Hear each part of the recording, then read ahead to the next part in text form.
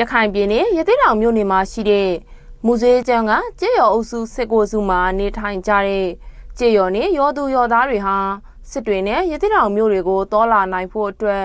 ရခင်အင်္ဂလိပ်အစိုးရလက်ထက်ကလေးကတိစောက်ခဲ့တဲ့လမ်းမကြီးကိုအသုံးပြုပြီးတောလာနေကြရတာပါ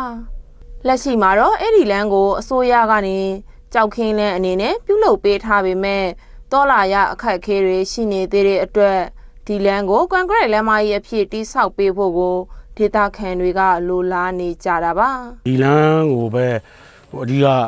အားကိုးပြီးတော့ဒီကချိတဲ့ပြည်သူတွေကလေစစ်တေသွားလိုက်ရသေးတောင်သွားလိုက်ဆိုဒီလမ်းကြီးပဲအဓိကအားကိုးနေရတာဒီဒေသရဲ့လူကိုစားပြုပေါ့ဟိုအင်္ဂလိပ်ကလေဒီလမ်းကိုကွန်ကရစ်လမ်းပဲဖြစ်ရှင်တယ်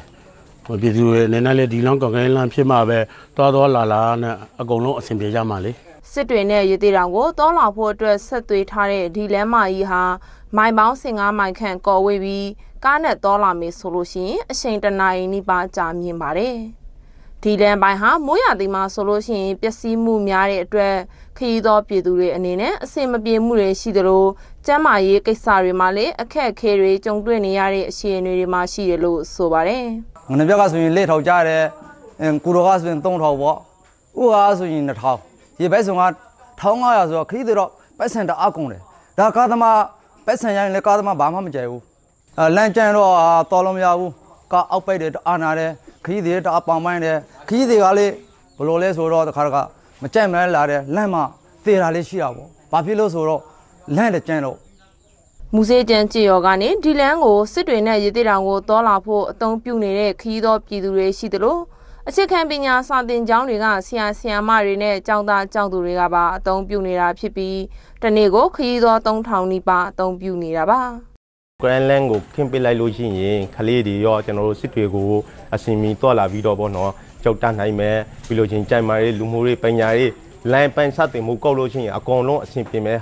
ဟာကိုတော့ကျွန်တော်တို့မြင်ရပါတယ်ပြီးလို့ချင်းကျွန်တော်တို့ကျွမ်းမှာဆိုရင်အထက်မှာဥကောင်အောက်အောက်မှာခြေအားဆိုသလိုဗောနော်ဒီကျွမ်းမှာက ဥကောင်တက်တော်ရှိတယ်ကျွန်တော်တို့ပြည်နေကလူကြီးတွေ